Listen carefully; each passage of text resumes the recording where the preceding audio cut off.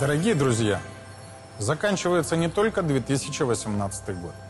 Заканчивается период хаоса и разрушения, начавшийся пять лет назад. Главное, что все это непростое время нас не покидала надежда на лучшее. Вера в себя и свою страну. Наступающий год – время больших перемен. Но они наступят только если мы все под Новый год загадаем одно желание. Пусть все плохое навсегда покинет нашу Родину. Пусть наступит мир и начнется нормальная жизнь. А весной и осенью это желание обязательно сбудется. Сбудется на избирательных участках. Это будет не чудо. Это будет наша коллективная воля. Наша воплощенная любовь к Украине. Пусть время перемен к лучшему наступит скорее. Счастья и процветания всем нам. Тепла в домах и в душе.